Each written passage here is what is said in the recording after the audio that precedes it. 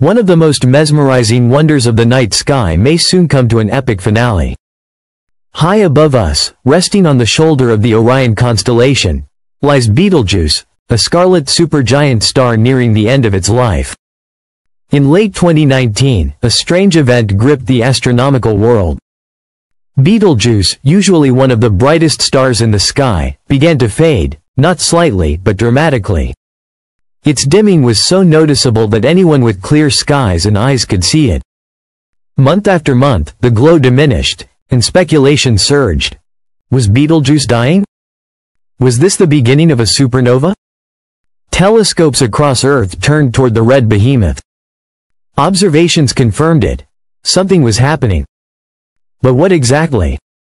Betelgeuse, also called Alpha Orionis, is a red supergiant, the second brightest star in the Orion constellation, after Rigel. Despite being outshined, Betelgeuse captures attention for its color, size, and volatility. Its name, rooted in Arabic, translates to, the armpit of the giant, a fitting title for its place in Orion's form. Astronomers rank Betelgeuse among the 10 brightest stars in the night sky, and for many in North America, Europe, and Canada, it's one of the most familiar.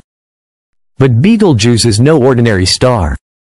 It's massive, nearly 900 times the size of our Sun, and it sheds material into space at a rate of roughly one solar mass every 10,000 years.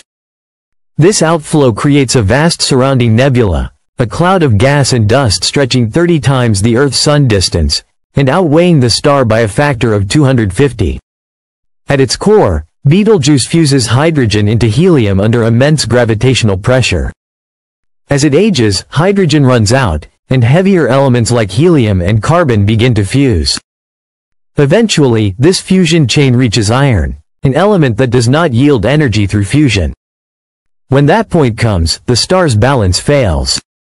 Its core collapses, triggering a colossal supernova explosion, one of the most powerful events in the cosmos.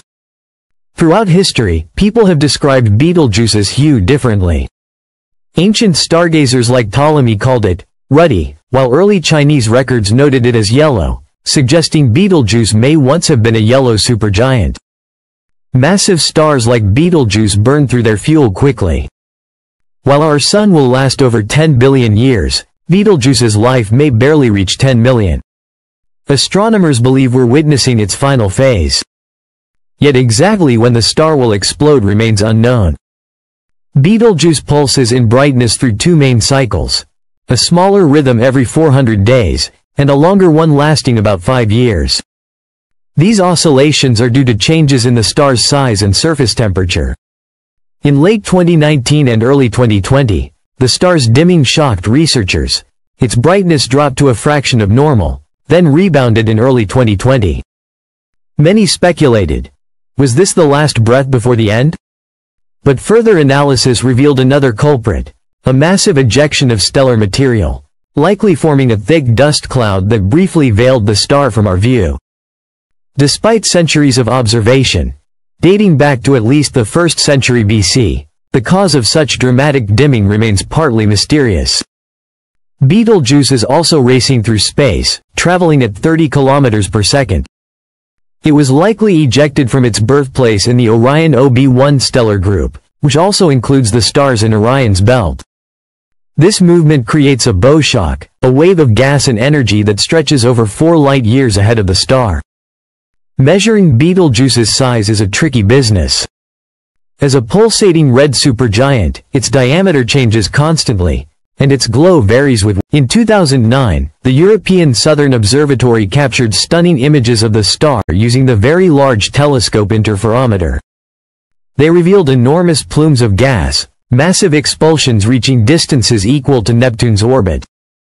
At least six such events have been identified. These eruptions may provide vital clues to how red supergiants lose mass in their final years, a process still poorly understood.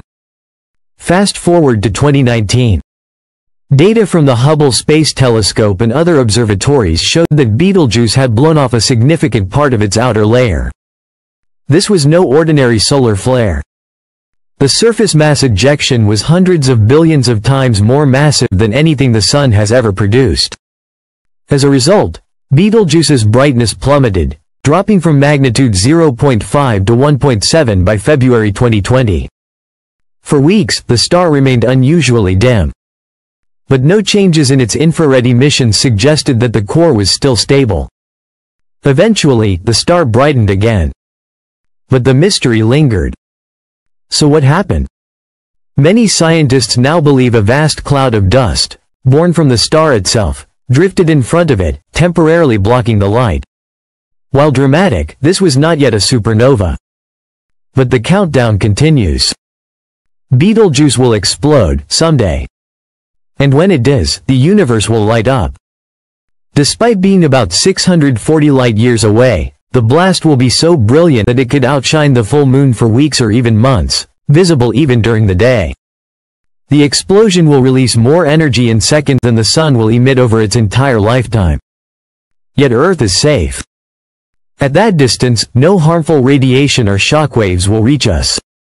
Instead, we'll witness a spectacle, a cosmic performance of fire and light, unmatched in human history.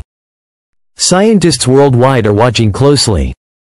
Using tools like the James Webb Space Telescope, Hubble, and ALMA, they monitor Betelgeuse's surface patterns, light fluctuations, and mass outflows, searching for the earliest signs of the coming end. The potential scientific value is enormous. Supernovas emit not only visible light, but neutrinos and gravitational waves, offering insight into the most extreme physics of the universe. Observatories like LIGO, Virgo, and IceCube stand ready, waiting to detect the moment Betelgeuse's core collapses. Red supergiants are one of the least understood stages in stellar life. They are vast, unstable, and complex. Betelgeuse may be the key to understanding them. For now, the star flickers on, a ticking celestial clock in Orion's shoulder. It could explode tomorrow. Or in 100,000 years. No one knows. But when it does, it will not only rewrite textbooks. It will change our understanding of stellar life, death, and rebirth. Until then, we gaze skyward, waiting,